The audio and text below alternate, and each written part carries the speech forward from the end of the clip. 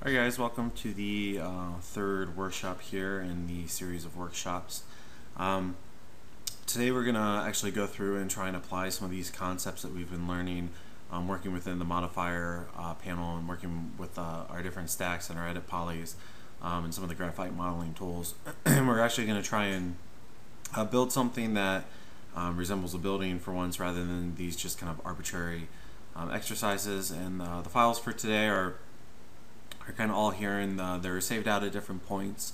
Um, so you can go in at any point, uh, and, and, pick up from there if, if you're you know doing this and then come back later and, and finish it up. There's also um, some CAD files that are here and these CAD files um, are basically going to serve as a, a base and we'll kind of look at those and go over those. And there's also a uh, Word document here that um, just kind of outlines um, roughly what I'm going to be going over and what we're going to be doing um, doing today and, and how we're going to be doing it. So um, that's something you know I, I kind of created for, for my reference, but um, it's also something that you can kind of see what I'm doing. Um, you know, also in the text version, kind of step by step from from top to bottom here. Um, so you see, the first thing is actually uh, import roads, and bef right before I do that, I do want to show you uh, if I go to my desktop here, uh, actually it's under my documents, workshops. So if I come into here, um, background images, uh, the, the images that we're gonna um, be focusing on today are actually some projects that we've worked on in the past. Um, and what we're going to be focusing on is the uh, roof structure of this building and the trusses. Um, and it's a more organic form that we're going to be focusing on. So this is what we're going to be kind of uh, striving for or, or, trying to accomplish. Um, and this is kind of the overall aerial shot. So you can see it's it's a kind of somewhat distorted, um, distorted, you know, organic kind of elliptical shape uh, with some slots cut into cut into the roof. Um, so we're going to show you kind of a quick, easy way to to produce this, um, you know, without without too much effort on your part. Um, the other thing is a very you know straightforward um, you know reality of kind of architecture um, building that we're going to build, and it just kind of shows you um, you know the other side of it where if you don't have something organic but you have something um, far more regular um, you know where you have a lot more repetition in it and you know that's that's kind of what you're dealing with or, or what you're working with then again, you can kind of use Max to, to quickly model something, um, you know, to get something like this um, produced if, if that's what, you know, you're kind of designing or working with. Uh, so those are like the two kind of things that we're going to go over, something a little more regular and, and kind of, like I said, more rooted in reality, um, and then something a little more organic and free, uh, free form kind of flowing surfaces. So with that said, uh, the first thing I want to do is just I want to open this roads file for you guys. Continue. And if I do my uh, viewport commands and I set it to plan view, you can see basically all this is is a closed polyline. So if I come here and I click on this, it's a, a closed polyline that's watertight. Um, so there's no gaps, there's no seams in it and you know you could bring your line work from CAD you could bring your, your line work from Rhino. It doesn't really matter. As long as these points are all connected and joined um, join is the command in Rhino and you know in AutoCAD what I, what I typically do is say I have um, you know some line that's kind of like this and they're all they're all separate lines. What you can do is you can hit BO for border enter. You select the points within so you select within that area hit enter. And then what that does is that creates a basically copy of that but it's a closed polyline. And the border command does not work unless it is completely closed in seal so it's kind of a, a way of telling yourself oh okay you know um, I, am good to go. I can take this geometry into max and, and actually you know take this line work into max and actually make geometry out of it. Because if there's a gap there and again I try that border command and I try and pick this you know it's telling me oh we can't we can't figure out what's going on with that border um, so you know it's a good way of checking your line work to see uh, if there is some error that's popping up. So you know I've kind of done through this and done the border command and everything worked out just fine. Um, so I'm going to close out of this. And step one on that um, Word document was actually to import that file. So we're going to come over here and go to import. And I want to go to that file, which is under, for me, under my documents and my workshop. Um, file for students, roads, open.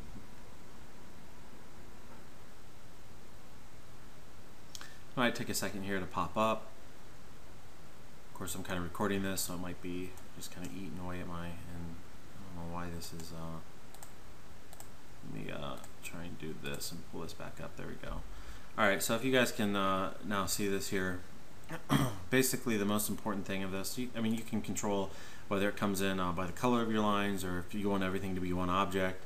Um, you can, you know, you can control certain things within here, how it comes in, um, your units, um, you can tell it specific layers to include or not include if I, you know if I want to select it from the list. Um, you know you can even control certain things with your spline, but really for us the most important thing is to make sure that our vertices are welded.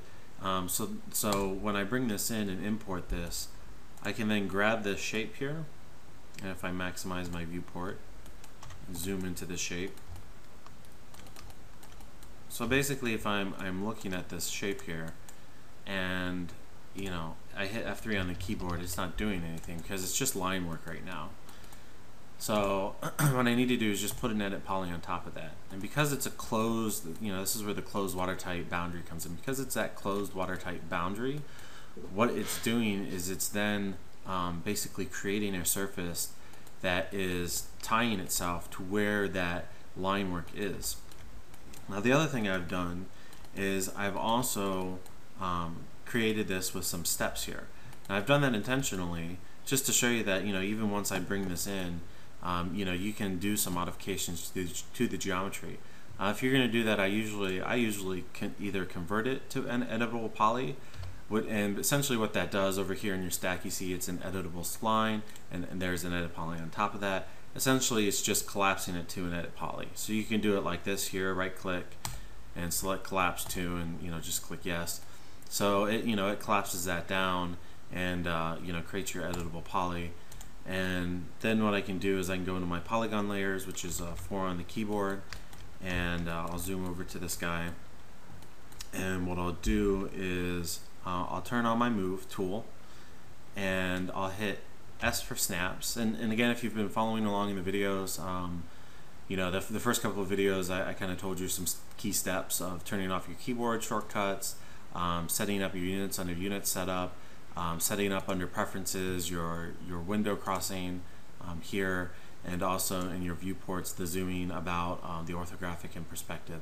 So, you know, just kind of keep that in mind as I'm running through and doing this and, and talking through this because a lot of the things I'm using like S on the keyboard, you know, is turning my snaps on and off, but if I have this keyboard toggle on and I have this shape selected and I hit S, I believe it applies a, a subdivide to the object. It doesn't turn on your snaps.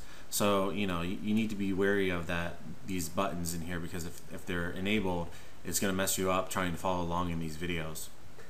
So with that said, I, I turn on my snaps and um, I want to make sure I'm, I'm, locked in my Z axis. And once I'm locked in the Z axis, then I can um, hit the space bar, grab this point, and snap it to that point. Then I'll unhit the space bar to unlock it, select my next shape, hit the space bar to lock it again. I'm still in my Z. I'll drop that down to that point. To come over here, select this shape. Again, hit my spacebar, and then grab that point to, you know, at really any point along here, as long as it kind of snaps into place. You know, I could even go from here to here. It doesn't really matter. I just want to bring that geometry down um, to the surface. I'll hit S to get out of snap, 4 to get out of my polygon layer. So, you know, and spacebar to get out of my uh, lockout. so now I am, you know, have my shape and you know it's kind of there. And if, if I go into my front view my line work in CAD you can even see I hit G to turn off my grid. Actually had some elevation to it. Um, so it's not perfectly flat line work. These roads actually kind of come up um, you know at these these uh, spots here. It's a ramp coming up to an upper level. So you can even have line work that's in um, a three-dimensional view or you know has some some change and elevation to it um, conversely, what you could do is you could have this in CAD um, as perfectly a flat thing, and then in Max you could come in then later and um, you know, what you would actually do is you could do like a FFD selector, for example, and if you needed to raise up, you know, this this side of it to a certain elevation, you know, you could then raise that geometry up to an elevation. If you wanted to be a little bit more precise about it, close that out. You could actually come in here, cut it at a certain point, um, you know, make sure all your vertices are welded, and then uh, you know raise it up with like a soft selection. Um, you know, based on your, your, your vertex points. See if I turn on my vertices here, um, all the vertex points. So I could actually, you know, raise up just this this chunk of it, for example, if that's what I was, if that's what I needed to do. Um, and then turning on the soft selection would give me that ramping up, um, you know, that we kind of showed where it gives you uh, some curvature to your geometry. It's not just a, uh, you know, a straight pull up like, like you see here. So now that my roads are in place, the next thing I want to do, I'm going to hit T for top, Z for zoom. I want to get my um, reference geometry in place that I'm going to use for my structure. Uh, but first I need to import my next file which is roof plan detailed and before I import that I'm going to go um, back to my folder and I'm just going to open this up again to kind of show you guys in CAD um, what I've done and what I've drawn. So you can see basically it's uh, some closed polylines. And what I actually did if I come into my layers here and I turn this off turn you turn off whatever turn it off. And um, I want to turn on my reference kind of geometries here. So you can see I actually had some stuff that I just like mirrored around but I, I, knew I mirrored it about the midpoint of these guys. So you know those are all watertight and then this was a, a shape that I had drawn um, here and created. So all I really did was did my border command and I had my um, I had my roads off so, you know, this stuff really should be on a different layer here, for example. Put it on a different layer just so it's not visible. And all I did was with this layer, this layer active, my orange layer, um, turn it off again. I just did my border command and I, I basically was able to then generate that stuff on that layer. So then I could come back, turn that off, leave this on, and then I had these guys as closed. So again, this is just stuff that I, I drew in CAD. I mean, like, and it's a perfectly flat thing that I just kind of drew um, for my roof roof structure here that, that is there. Um, so we'll get over here, we won't save that. We'll go back to Max. Uh, we'll go to Import. And we're going to do the uh, roof plan.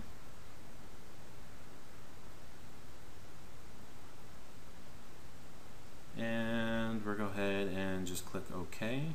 Again, I want to make sure my vertices are welded and that brings it into place um, and it's lined up with my roads. You can see in my CAD plan I actually had the roads in there kind of for reference and placing it.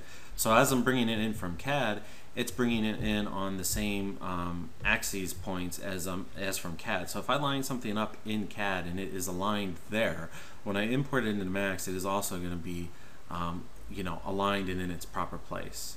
Um, and I'm actually going to stop the video here. I, you know, I, have kind of found that um, this this video recording software I'm using tends to freak out a little bit. So I'm going to stop the video here, and um, you guys can pick up from your files um, where for where basically at the end of the roads uh, file here, and then the next file will be uh, getting our, our plane and reference geometry in place. Um, so that's where we're going to pick up next.